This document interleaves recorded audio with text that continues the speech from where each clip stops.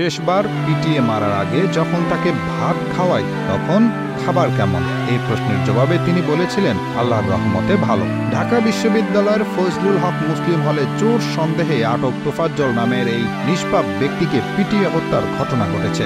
স্থানীয় চেয়ারম্যানের মেয়ের সাথে প্রেম হয়, কিন্তু তা কপালে হয়নি সেই মেয়েকে বিয়ে দেওয়া হয় অন্য জায়গায়। ভাগ্যের পরিহাসে কিছুদিনের মধ্যেই তোফাজ্জলের মা, বাবা ও একমাত্র বড় ভাই মারা যান। যার কারণে পরিবার ও অভিভাবকহীন হয়ে রাস্তায় রাস্তায় ঘুরে বেড়াতেন তোফাজ্জল। নিহত তোফাজ্জল প্রেম সংক্রান্ত ব্যাপার এবং পরিবার হারানোর শোকে আঘাতপ্রাপ্ত হয়ে মানসিক ভারসাম্যহীন হয়ে যান। তোফাজ্জল বরগুনার পাথরঘাটা উপজেলার কাঁঠালতরি ইউনিয়নের ছাত্রলীগের সাবেক সভাপতি ছিলেন। খুব অল্প সময়ের ব্যবধানে তোফাজ্জলের মা, বাবা ও একমাত্র বড় ভাই মারা যান। তোফাজ্জলের পরিবার ও অভিভাবক শূন্য হয়ে পুরোপুরি মানসিক ভারসাম্য হারিয়ে ফেলেন গত তিন থেকে চার বছর ধরে। বিগত দুই থেকে তিন বছর তোফাজ্জল প্রায়ই ঢাকা বিশ্ববিদ্যালয় ক্যাম্পাসে ঘুরে বেড়াতেন। গত আঠারো সেপ্টেম্বর সন্ধ্যা সাতটা মিনিটের দিকে তিনি ঢাকা বিশ্ববিদ্যালয়ের ফজলুল হক মুসলিম হলের গেটে সন্দেহজনকভাবে ঘোরাফেরা করতে থাকলে বিশ্ববিদ্যালয়ের কিছু ছাত্র তাকে আটক করে প্রথমে ফজলুল হক মুসলিম হলের মূল ভবনের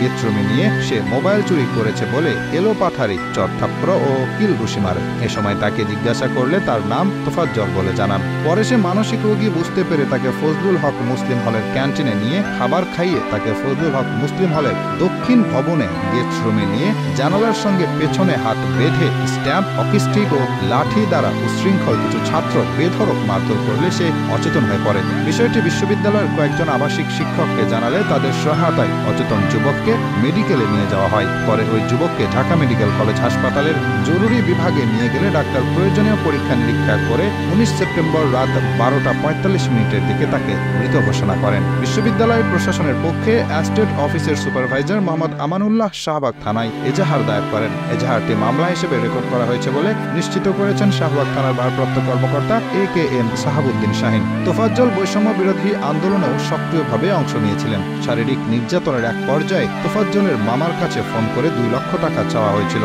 তাকে জীবিত ছেড়ে দেবার জন্য। আপনার কি মনে হয় না তোফাজ্জলকে পিটিয়ে মারার ঘটনা একটি ঠান্ডা মাথার হত্যাকাণ্ড?